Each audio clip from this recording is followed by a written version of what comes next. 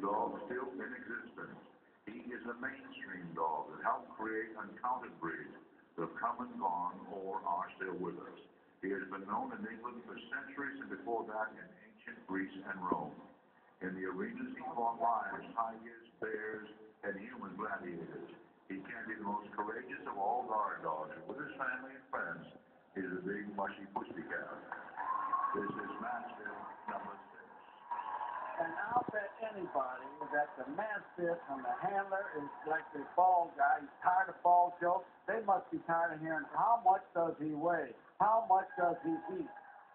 The dog is well into the 200s, Joe. You can see he's healthy, and he's got to be eating plenty to be healthy. He's just a baby. He's only three years old. Butler with Pam Phobos from Damascus, Maryland.